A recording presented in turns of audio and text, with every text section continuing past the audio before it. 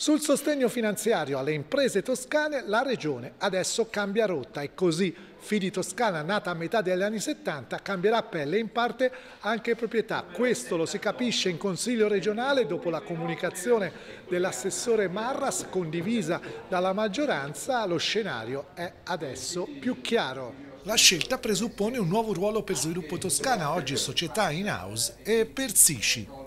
Ma cosa accadrà davvero a Fili Toscana, la finanziaria regionale che ha quasi 50 anni? La regione venderà le quote e ridurrà la sua partecipazione. Il personale sarà salvo, in gran parte passerà proprio a Sviluppo Toscana, anche se i sindacati si dicono preoccupati e sono anche scesi in piazza nei giorni scorsi. Ci sono delle discriminazioni nella sanità toscana e questo dipende da dove si abita. Il problema è balzato agli occhi di tutti dopo le denunce di alcuni pazienti a cui l'ospedale di Cisanello avrebbe ritardato le visite. Ne parlano i consiglieri in attesa del dibattito in aula e si moltiplicano le prese di posizione. Intanto la Commissione Sanità sta completando il percorso degli Stati Generali della Salute e davvero quello dell'abbattimento delle liste d'attesa resta uno dei punti fondamentali per una riorganizzazione futura. Palazzo del Pegaso a Firenze torna ad essere la vetrina di tante iniziative di arte e cultura, sport e natura, buon cibo e relax, ma anche un catalizzatore di eventi legati ai temi dei diritti e della pace.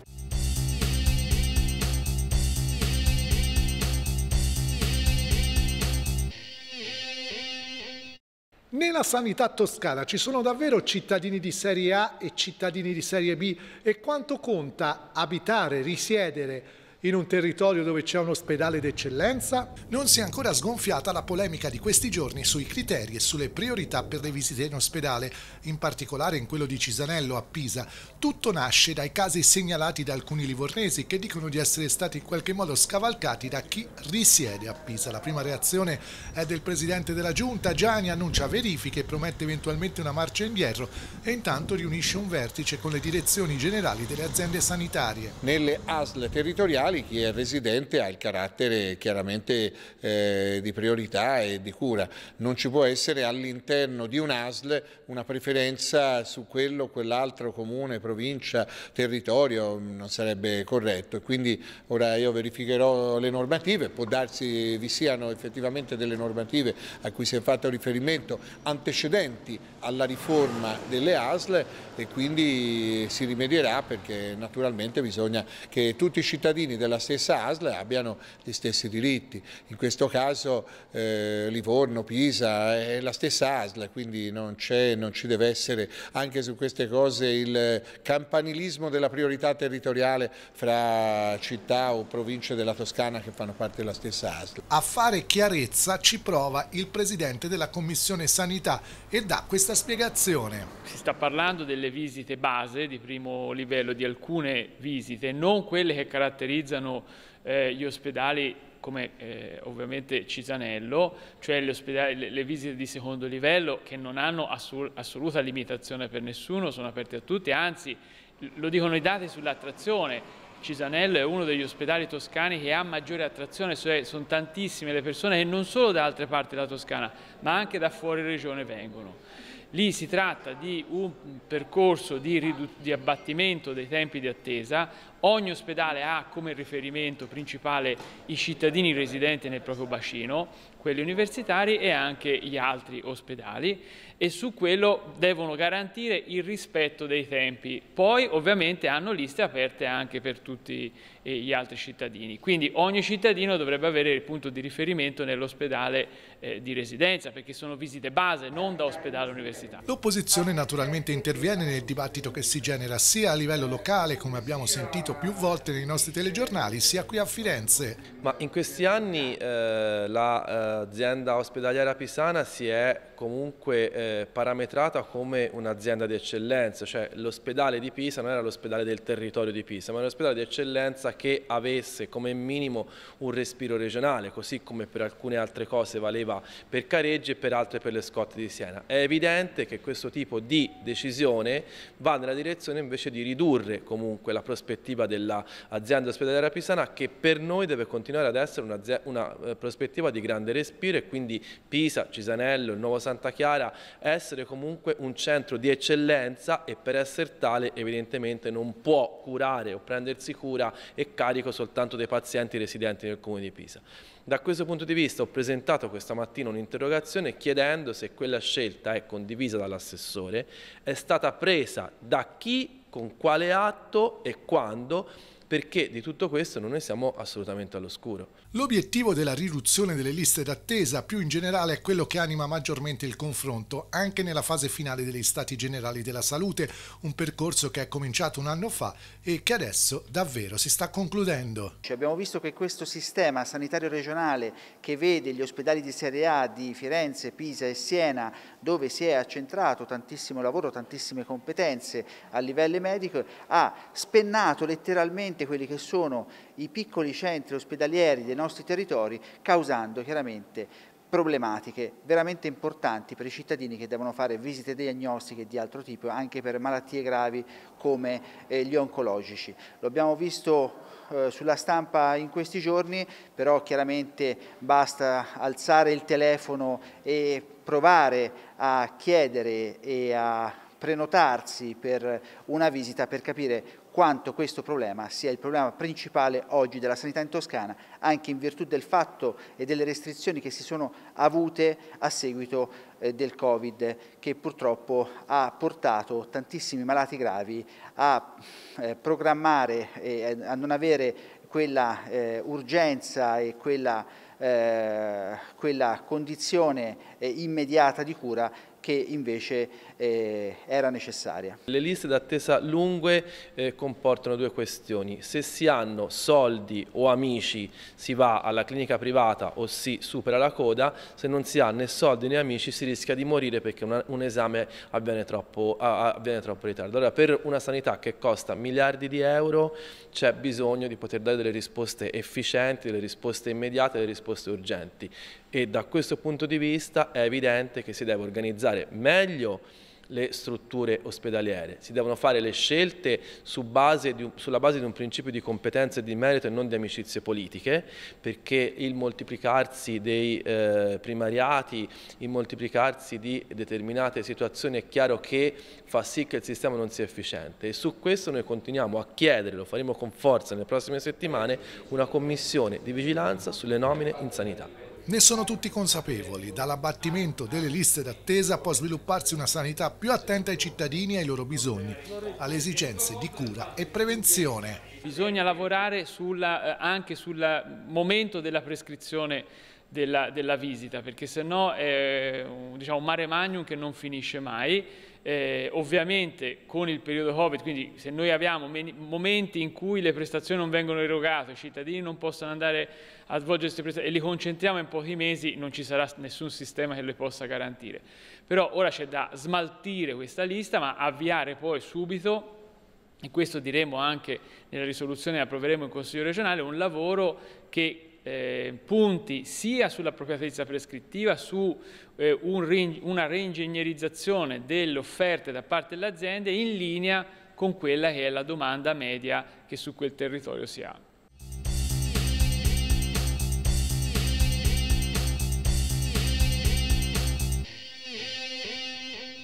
L'argomento principale dell'ultima seduta del Consiglio regionale qui a Palazzo del Pegaso a Firenze è stato certamente, come anticipavamo, quello della trasformazione di Fidi Toscana, la società nata ormai 50 anni fa per sostenere le nostre imprese.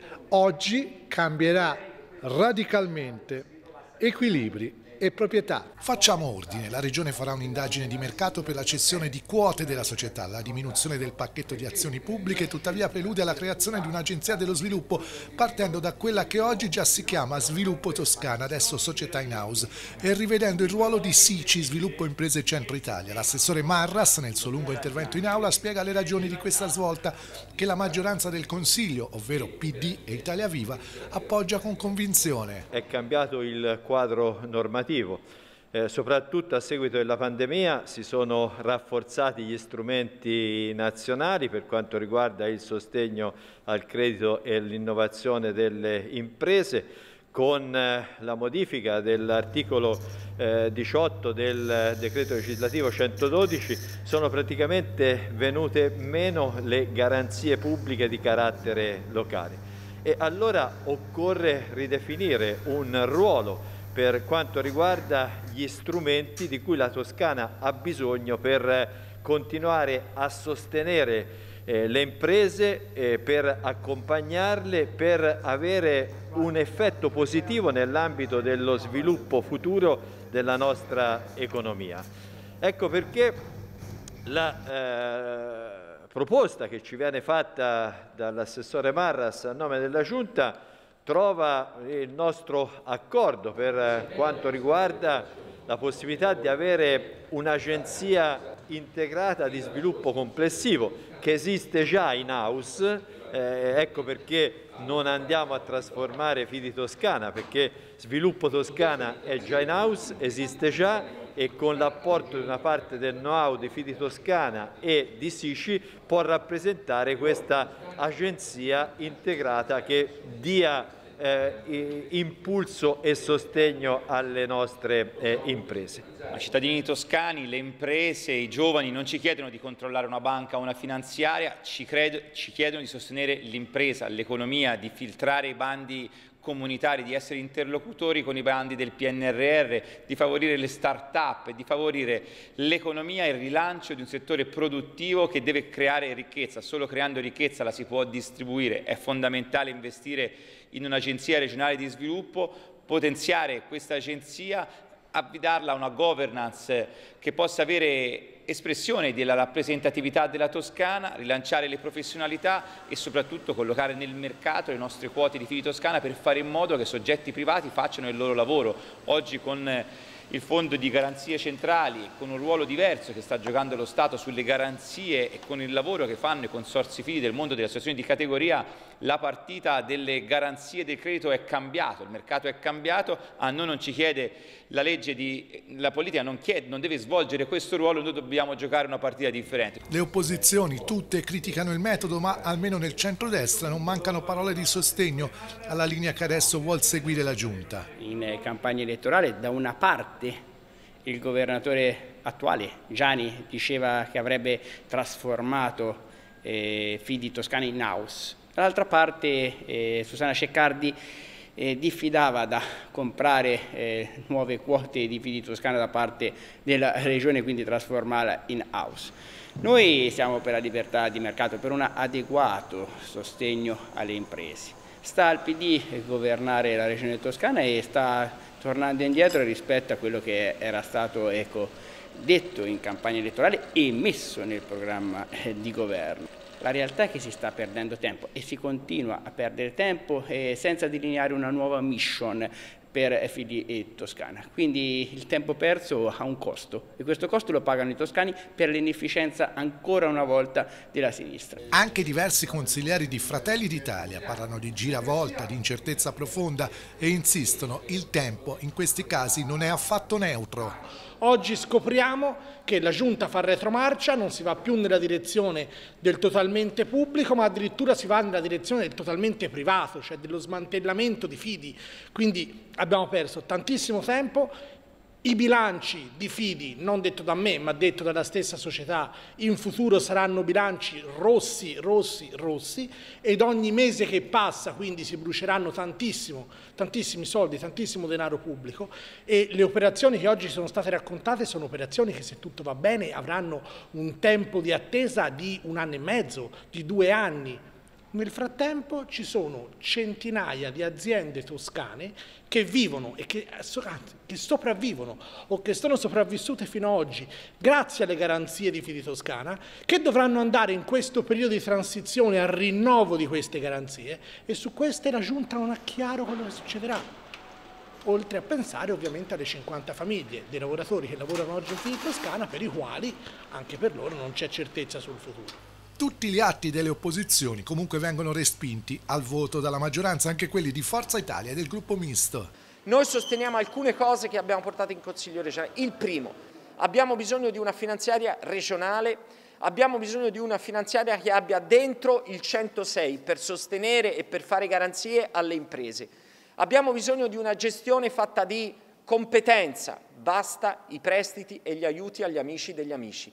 Si aiutano i progetti industriali, si aiutano le imprese del territorio, prevalentemente quelle che stanno in regione toscana per quanto ci riguarda, e si aiutano le imprese, non quelle che sono destinate a chiudere, ma quelle che hanno una prospettiva, che hanno i livelli occupazionali. Troppe volte Fidi Toscana ha aiutato imprese che dopo pochi mesi hanno chiuso depauperando così il patrimonio industriale della regione toscana e perdendo posti di lavoro. Il terzo elemento che chiediamo è che la scelta venga fatta in tempi celeri, in tempi veloci, perché il tempo è un elemento essenziale per il sistema produttivo di questo Paese, cioè entro tre mesi. E il quarto elemento, ultimo ma non da ultimo, è il mantenimento dei livelli occupazionali, cioè la garanzia che quei 53 dipendenti di Fidi Toscana, che oggi sono delle professionalità acquisite per il nostro territorio, non debbano essere perse. Io credo che eh, da qui massimo a, giugno dobbiamo avere certezza su chi sono gli investitori privati, altrimenti, ripeto, continuiamo a macinare milioni, a bruciarli anzi e quindi a bruciare risorse dei cittadini toscani e soprattutto lo facciamo senza una vera effettiva strategia che riorganizzi il complesso delle società partecipate. Noi oggi abbiamo dei doppioni, abbiamo società che non si comprende bene neanche che tipo di senso abbiano e quale mission di fatto oggi abbiano, eh, si certifica che però ci costano e quindi a nostro avviso eh, alla luce della lezione che oggi apprendiamo su Fili Toscana dove le marce indietro praticamente sono all'ordine del giorno, voi pensate semplicemente all'operazione Toscana Strade lanciata quasi come dire eh, al pari di Fili Toscana, quello che ci aspettiamo forse è che l'anno prossimo ci vengano a dire che le risorse non ci sono, esattamente come è stato fatto. Critiche severe infine dal Movimento 5 Stelle, parla la consigliera Noferi. Non si capisce per quale motivo un soggetto privato dovrebbe acquisire una società che la Regione Toscana dichiara non più strategica e ci domandiamo inoltre che fine faranno quelle piccole e medie imprese che finora si sono affidate eh, appunto ai, alle garanzie di Fidi Toscana. Non si è capito come mai eh, la Regione Toscana ha eh, creato due società praticamente uguali e adesso se ne accorge e si vuole disfare eh, di quella che è nata prima. Quindi un sospetto c'è, eh, ossia che cosa c'è dentro la pancia di Fidi Toscana? È stata veramente risanata? Come mai la Regione Toscana se ne vuole disfare? La maggioranza tuttavia incassa il voto alla propria risoluzione, ci sono 23 favorevoli, 6 contrari e 2 astensioni. Ma torniamo al punto di partenza, qual è il percorso che attende ora Fidi Toscana secondo la maggioranza naturalmente? La Regione Toscana ha non ha il 50, 51%, è l'azionista di riferimento, ma la maggior parte del capitale è nelle banche che per una serie di motivi, eh, serie di motivi si sono disinteressati, non hanno aiutato Fidi. Allora che facciamo? Il mercato è cambiato, abbiamo dei mercati con degli importanti operatori e allora che cosa bisogna fare? Creare un pacchetto di maggioranza e cercare di metterla sul mercato per, eh, ma questo non significa che la Regione dovrà uscire fuori, perché il 51% è nelle banche. Se le banche non intendono, non sono più interessati, creiamo un pacchetto di maggioranza e cerchiamo, e questo ovviamente eh, facciamo, ora andrà avanti la nostra giunta, a vedere chi ci propone un'idea un imprenditoriale valida per, eh, per Fidi Toscana, mettendoci anche capitale.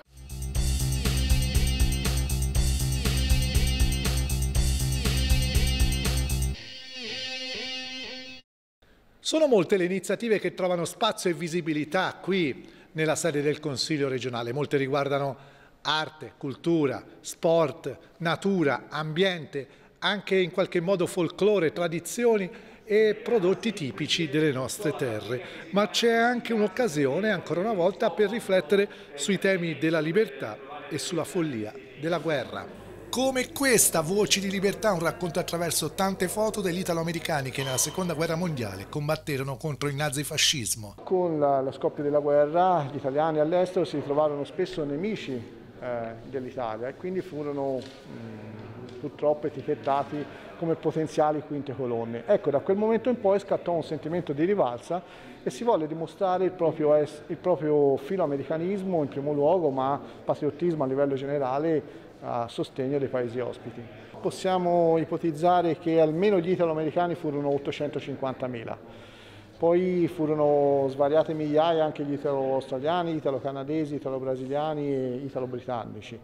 Però come dicevo non è semplicissimo stabilire un numero esatto. Singolare la coincidenza di questo evento programmato da tempo con i drammatici fatti in Ucraina, fattore evidenziato dal Presidente del Consiglio regionale. Questa mostra è un modo per dire grazie, grazie ai tanti uomini, ai tanti ragazzi che vennero a difendere la libertà della nostra terra, erano figli di emigrati, soprattutto emigrati negli Stati Uniti o in eh, Brasile. Credo che insomma ricordarli oggi qui è un modo per dire grazie ma anche per eh, dire una cosa importante, che quello che è accaduto può accadere di nuovo e non bisogna mai voltarsi dall'altra parte, ma bisogna lavorare tutti insieme, ognuno per quello che può, perché in Ucraina torni la pace e scene come quelle che stiamo vedendo terminano velocemente.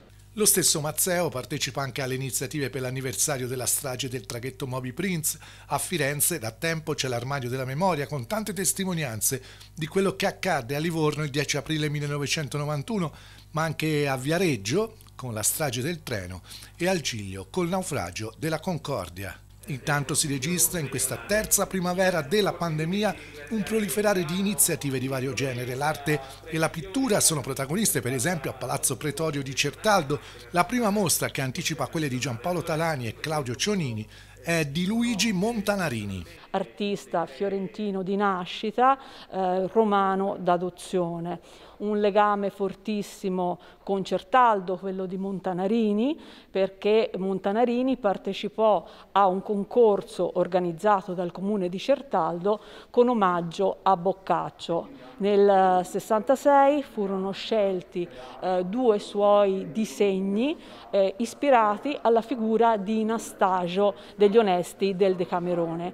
Questi due disegni saranno esposti nella mostra oltre a tutto il carteggio fra il comune di Certaldo appunto e Montanarini. Noi abbiamo promosso ormai da un po' di tempo questi percorsi artistici con queste mostre temporanee, Palazzo Pretorio ha delle sale bellissime anche con eh, esposizioni permanenti, con museo permanente, ma ha tutto il primo piano a disposizione per queste mostre temporanee. Ed è sempre stata la sua forza, quella di essere un polo espositivo di arte contemporanea a livello toscano che ospita continuamente mostre di carattere importante e eh, il nostro tentativo è sempre stato quello di eh, allargare l'orizzonte, valorizzare gli artisti locali da una parte e allo stesso tempo portare eh, artisti di appunto, livello nazionale e internazionale. In molte altre situazioni il pubblico può gustare i sapori delle nostre terre come accade a Montespertoli dove torna di seme in seme il tema scelto stavolta è quello del formaggio. La realizzano questa iniziativa oltre che il comune, i produttori delle colline toscane che sono riuniti in un'associazione l'associazione? Produttori raccoglie circa una quarantina di aziende eh, divisa tra allevatori, coltivatori e trasformatori che vanno a chiudere la nostra filiera. Noi produciamo diciamo, tutto quello che fa parte dell'alimentazione e per questo abbiamo anche un disciplinare dove i nostri soci rispettano i vari parametri del regolamento. Quanto vale il turismo enogastronomico? A Montespertoli ancora secondo me vale meno di quello che sono le sue potenzialità e quindi dobbiamo stare vicini alle aziende agricole per aiutarle a fargli scoprire queste potenzialità. Questo è il primo di una serie di eventi, questo è organizzato dall'Associazione Produttori Oline Toscane, ma ce ne saranno tanti e vedono protagoniste le aziende sul territorio. A mio avviso è il punto di, di crescita di Montespertoli proprio su questo tipo di turismo. Noi ci fermiamo qui, torniamo naturalmente venerdì prossimo, 15 aprile, sempre dopo il TG della sera di Granducato.